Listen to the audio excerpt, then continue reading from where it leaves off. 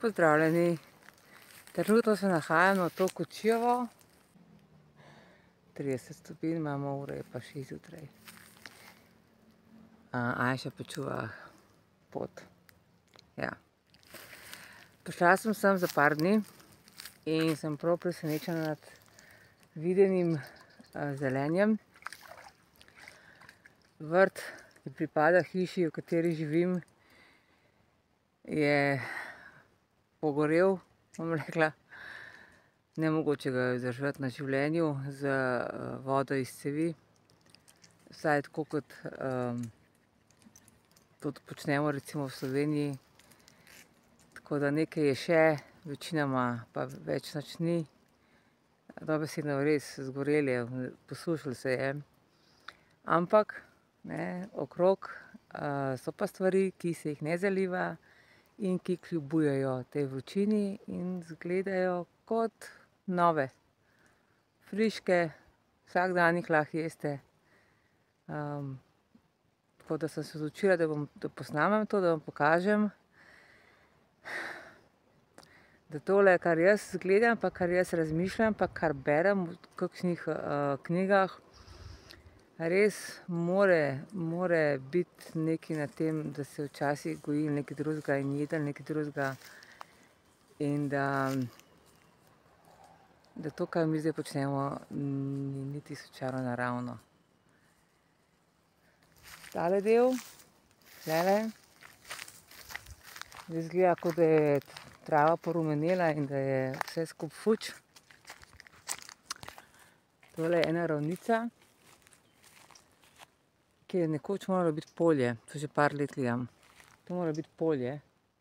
Ko sem bila junija tu, je to bila, ne vem, ali ena vrsta pšenice, ne vem. Pač ena vrsta žita je tukaj, tukaj rasla in tukaj raste vsako leto, ker se samo zaseje. Letos sem vzela nekaj semen, eno pest semen, da jo posejem doma, da vidim, kako bo pa pri meni na vrtu to raslo.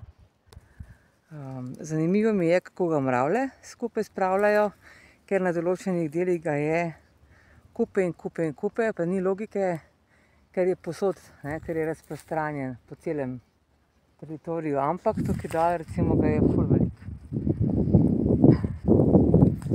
In to, tukaj so mravlje zelo pridne. Moram reči, da to je pa res, tele poti se ne dajo, ali pa kakšna druga živalica, ki ga skupaj spravlja, kakorkoli. To je ena od stvari, ke mi je res blazno zanimiva. Tukaj spet en kupček tak velik. Tamle dol spet. Tako da to je to mora biti neko, neka zadeva, ki so jo v starih časih sejali. Lahko vidite, evo, tukajle se vidi, kako, kako so pridne. Pa to je nemogoče.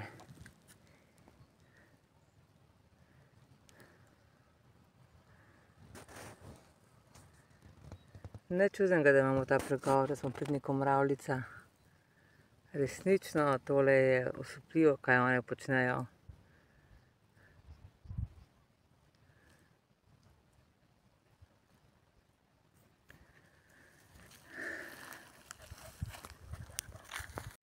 Skratka, tukaj sem, posnela sem nekaj stvari, vam jih bom v nadaljevanju pokazala.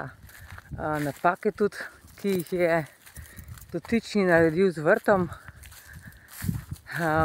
Najbolj bi mu zadeva boljše rasla, če bi jih posadil, posejal bistveno, bistveno prej. Ne, ne konec aprila oziroma maju, kot to počnemo pri nas, ampak marca. Tukaj je pozimi deset, petnajst stopinj, tako da je zemlja vedno topla. Je pa razlika v v količini padavin. Zdaj mesec dni, dvakrat je majčkeno padalo. V bistvu ni, a ne. To je čisto druga zadeva in temu se bo treba potem prilagoditi, če imate kultiviran zelenjavni vrt. Če pa poznate divjožitne rastline, pol je pa zadeva popolnoma drugačna. ko prijem domov, vam povem zgodbo do konca.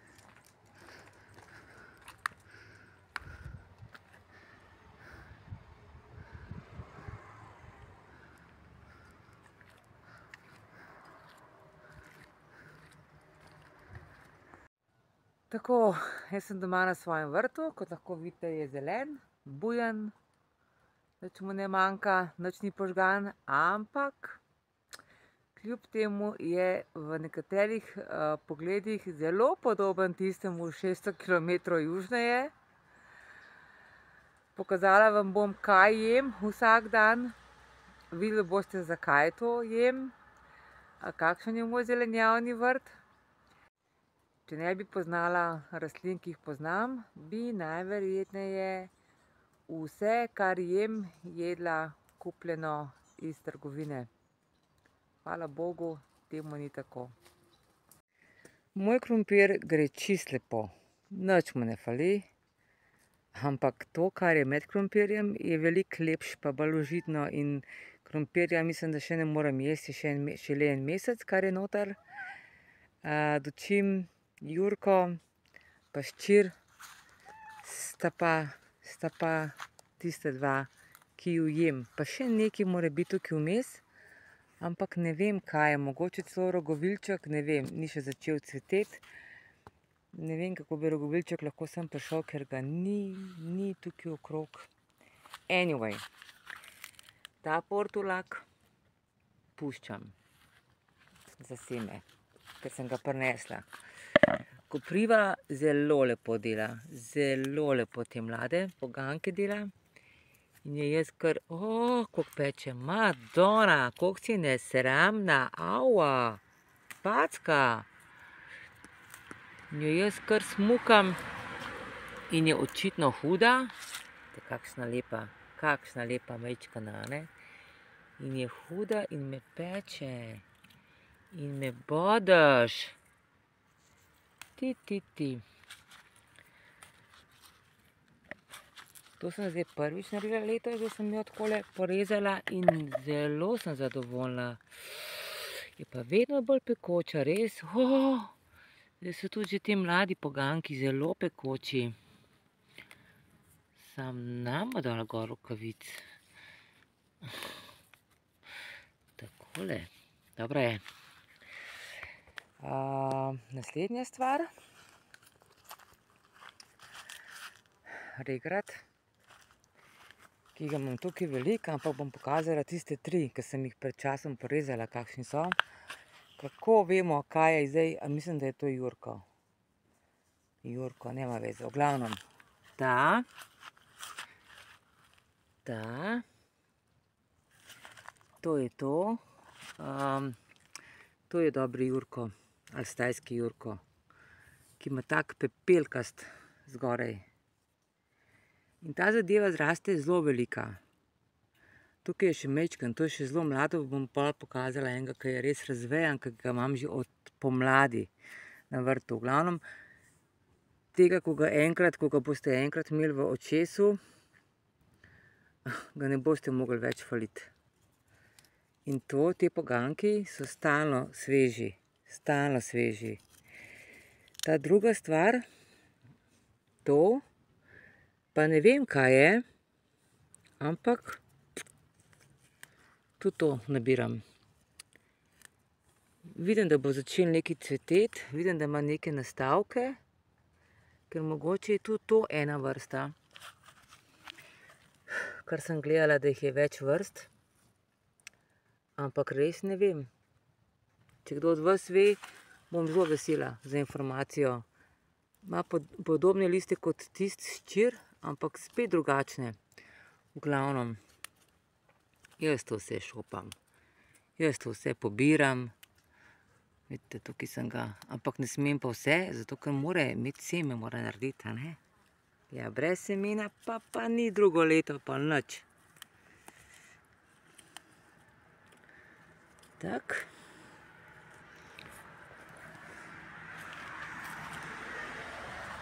Tole je ščir. To je ščir, ampak so še druge vrste ščira. Tole je ščir. To je to. So še taki, ki imajo rdečkasto steblo mal. Več vrst jih je.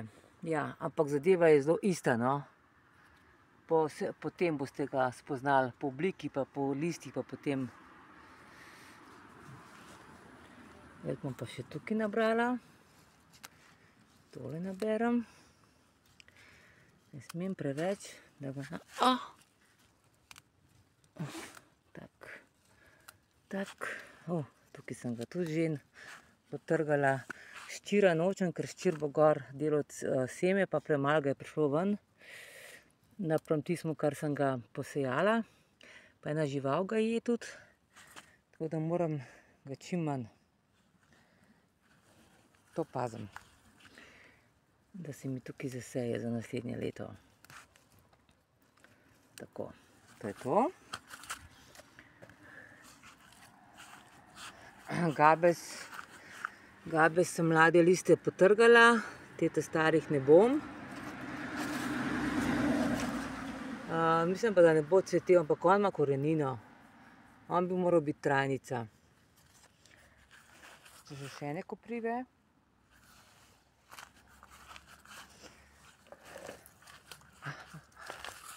No, to pa so ti trije, te veliki, te giant one, ki sem jih porezala in so spet tako zrasli. Ja, regraduje, da ga, trgate, tako je solati, da jo režete. Požene novo glavo. Ne rabite celo trgati. Tako. Največ bom tega vzela.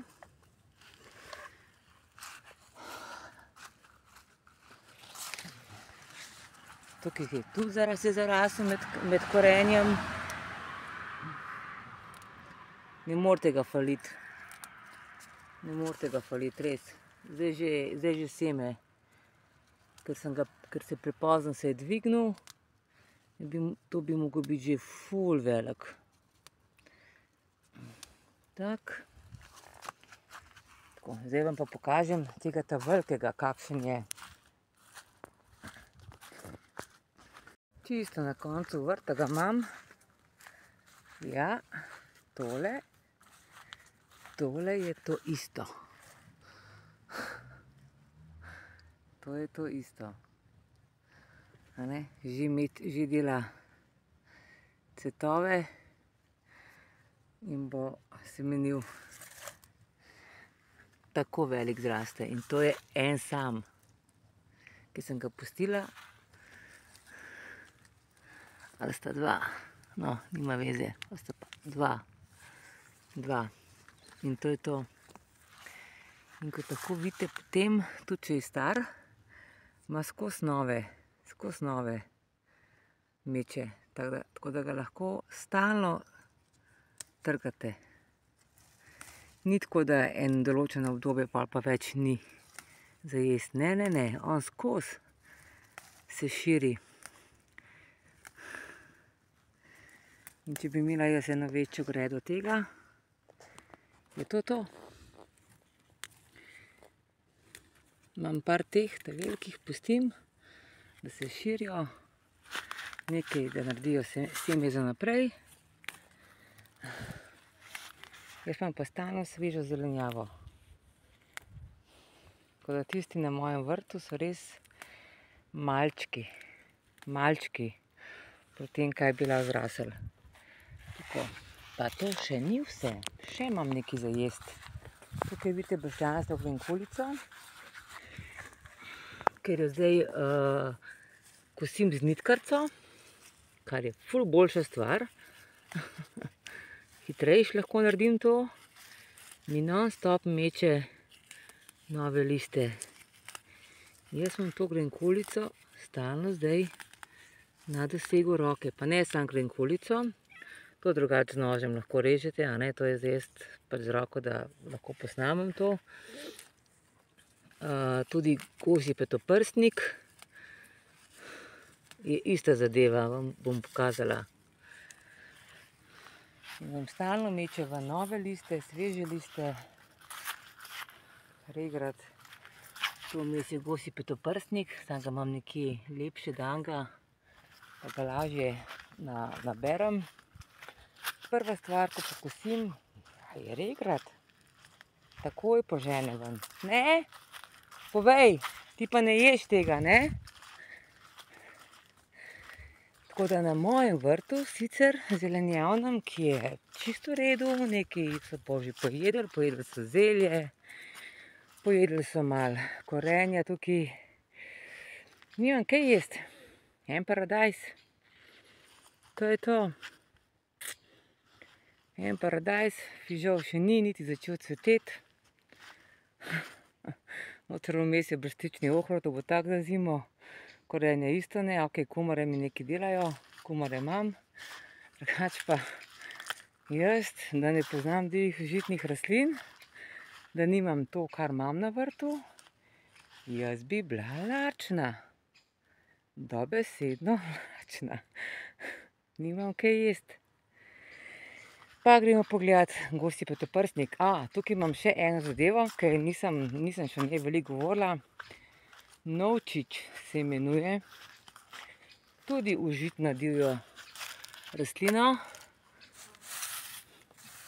Zelo uh, gre dol, se polega. Pa sem jo tukaj pustila. Ampak je zadeva taka. Taka. Cveti uh, rumeno. Nitke ima in te listi, to, je, to se je. Take dolge nitke ima. Te listi so za jesti. Surovi, ali dušeni, ali karkoli. No, pa ko sem že glih tukaj, ko vidim še gosi petoprstnik, to je to. To je to. Tudi to cveti rumeno. Uh, je še ena druga varianta. Petoprstnika, pri meni raste samo ta. Tako da, jaz vam lahko pokažem sam tega. Vzamete liste, to dela celo leto. Zraven je boščanasta grenkulica, to je boščanasta grenkulica. Grem še malo drugem iskat, kaj je lepši. Aha, tam na gori je lepši. Tukaj imam še jagodne liste. Ja, lahko vse skupaj naberem. Jagodne liste, to so gozne jagode. Vse, kar je svetlo zeleno. Temno zeleno ima že ful čreslovin, pa je grenko. Tako da, če imate to, da je svetlo zeleno, vzemite ta sveže, ta nove. So bolj prijazni. Je pa fajn, da imate v spominu tudi okus od starejših, če, bi daj morali jesti starejše. Tako. Grem pogledat, če imam še kaj. Trpotec, kje je trpotec? Da vidimo, kje je trpotec. Tukaj sem ga pokosila.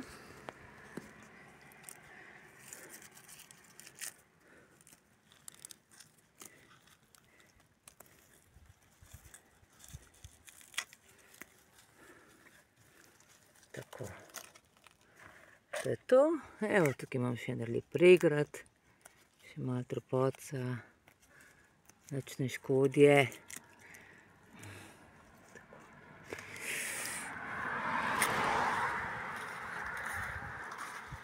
Detelja. Tu je detelja, ki pa je ne bom nabrala, ker načeloma tukaj ne nabiram ob cesti razen trpotca, ker raste ra, samo tukaj. Petoprstnik.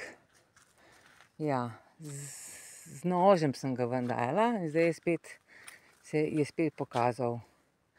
Drugač ga imam tukaj, ampak sem z nitkarco. Tako kot pošljanstvo krenkulico, da potem požene nove liste, da je bolj fej, bolj fej za jest. Skrečnik je pa tu, med sivko, ki sem jo zelo, zelo, zelo porezala.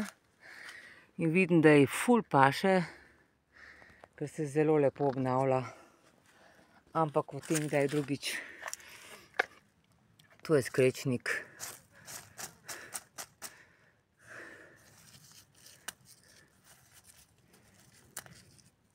Ne bom samo, kosila, bom še jedla zraven. Zdaj bom pa to zmiksala.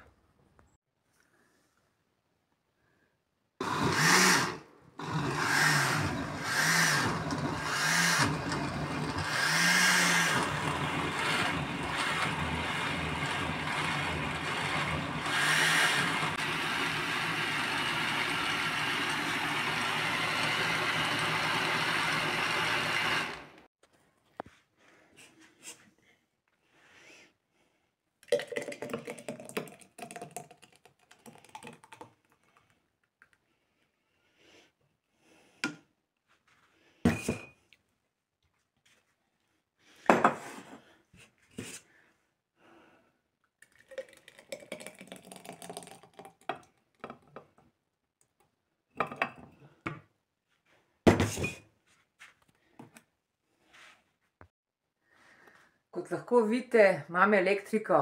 Ne, ne, to je solarka, nimam elektrike.